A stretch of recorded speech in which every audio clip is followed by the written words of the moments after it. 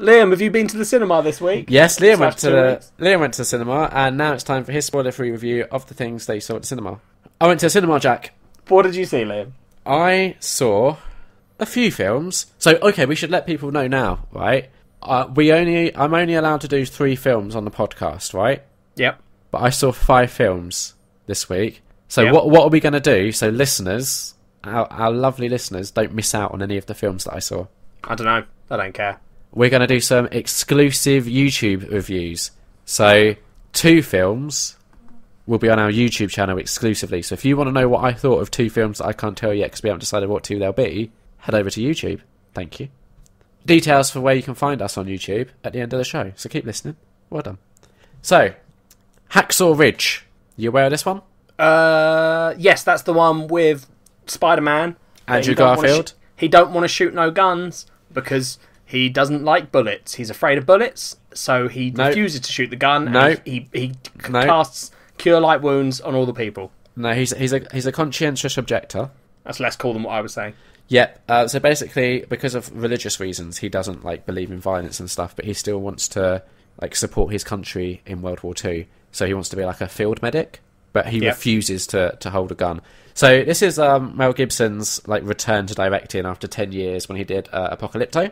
Oh, okay. And the plot is basically split into two halves. The first half, you have Andrew Garfield's character. He meets a girl, like you see a bit of his childhood, and you kind of uh, throughout the film, through flashbacks, you see why he has this objection to guns. Okay.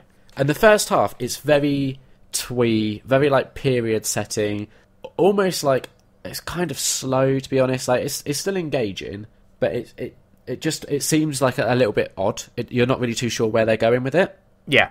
then it kind of builds up and and um, he goes off to like boot camp and you get now I, i'll admit i scoffed when i saw this guy appear in the trailer but you have vince vaughn as like the drill sergeant Oh, I think yeah, I think I saw that in the trailer. And was Yeah. Like, Jesus, Vince Vaughn. it's a, it's a real odd casting choice but i have to admit like, i kind of think it worked like i did like him in this film Oh, fair Um, enough. he he does his best um like R. Lee Ermey impression who's in full metal jacket. They like basically rip off the the famous scene from full metal jacket where he's like going through Yeah. and chewing out all of this yeah. Um then the second half of the film kind of kicks off and it is just like this incredibly brutal war film.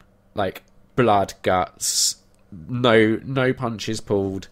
It's like it's it's a real especially after like the really twee first half is a very Yeah, like yeah. stark difference and it's it's good i really enjoyed it there are like a couple of niggling issues like um so this sort of scenario if you will that they're at this hacksaw ridge that they're trying to like climb up uh, the top of it's all kind of um, taken over by the japanese Yeah, yeah.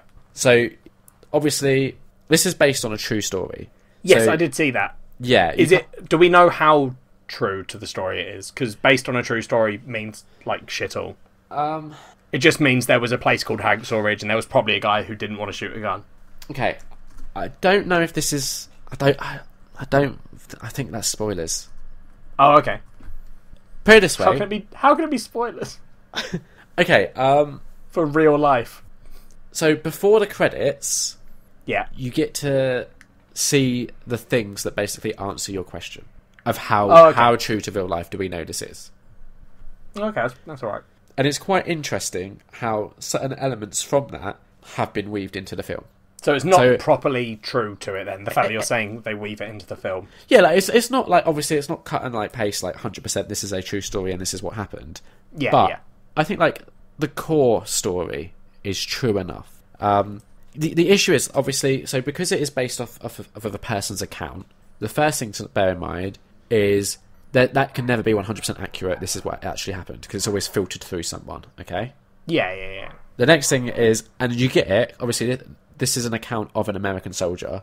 So the way that the Japanese are portrayed is just like uniformly bad. Oh, okay, got you. I mean, they weren't. But, I mean, you- you kind of expect World that, War right? II time, but Yeah, and you know, coming from that perspective, it's kind of to be expected.